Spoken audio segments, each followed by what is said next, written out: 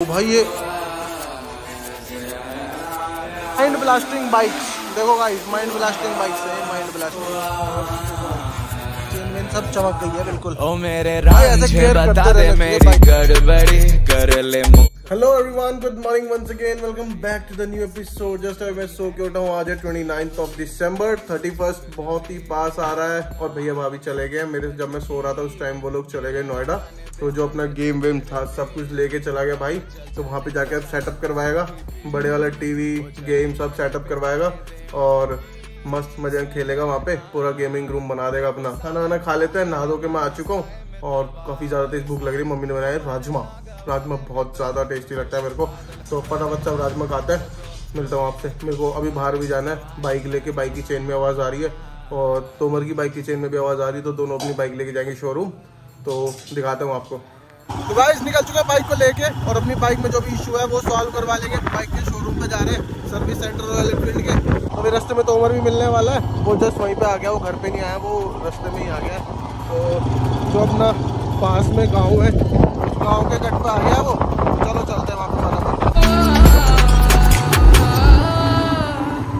अरे यार, बहुत बुरी आवाज़ आ रही है यहाँ से, आवाज़ आ रही बहुत ज़्यादा।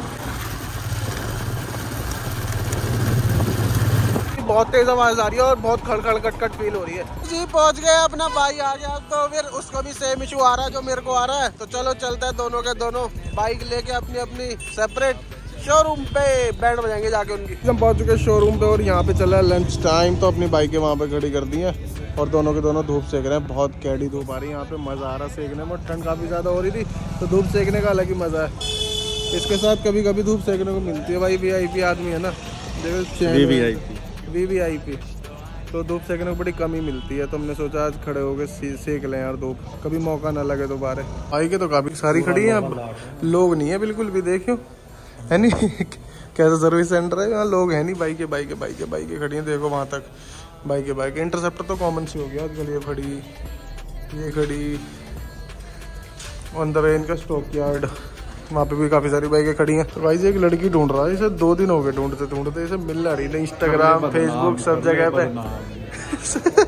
इंस्टाग्राम फेसबुक पे नहीं मिल। रही वैसे मिली लाइव व्हाट्सएप पे मिली। फेस टू फेस अच्छा फेस टू फेस मिली अभी इसे इंस्टाग्राम फेसबुक पे ढूंढ रहा मिल ना रही है। पता है इसे? लेकिन असली एड्रेस नहीं पता असली आईडी नहीं नहीं पता असली पता। अरे वो इसलिए नहीं मिली उसने मुझे ब्लॉक कर रखा है। इसकी हरकतें पहले ऐसी थी इसने ब्लॉक करवा लिया अपने आप को। तोमर के बैग में भी सेम दिक्कत आ रही चेन वाली तो तोमर भी चेन अपने करवा रहा।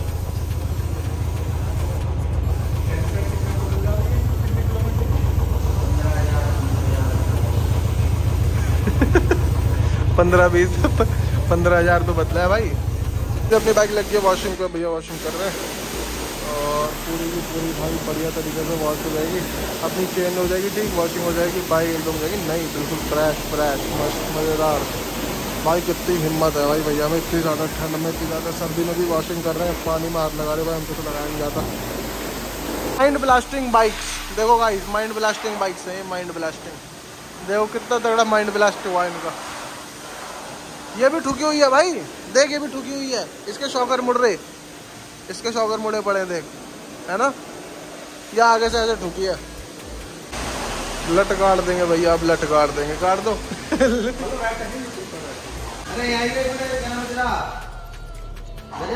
ओ भाई ये अबे क्या कर दिया? जादू कर दिया जादू। ना भी वैसी है। तो गाइस अपनी बाइक तैयार हो जा चुकी है धुल चुकी है पूरी अच्छे से चेन ल्यूबिंग वगैरह सब हो गई है।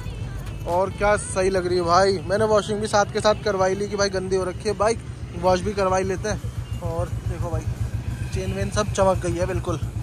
भाई ऐसे केयर करते रहना चाहिए बाइक का। ऐसे नहीं कि इनकी तरह घूम रहे हैं और बाइक की बिना केयर करे।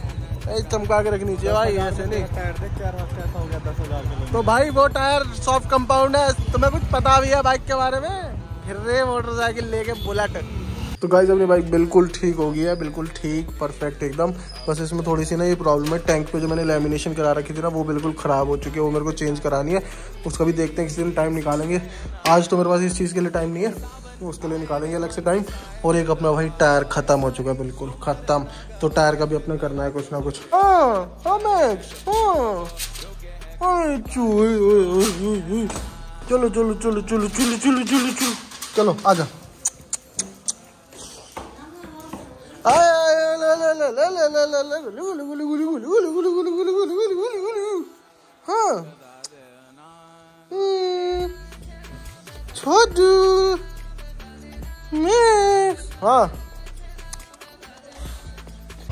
अरे अंधेरे में क्यों निकला है तू अरे ठंडी तो नहीं हो रही और भाई अरुणाचल प्रदेश प्रशांत कौन से घर में रहे हुए क्रश इसका वहाँ रहता है मोदी नगर उसने भाई भाई बोल दिया उसे अब।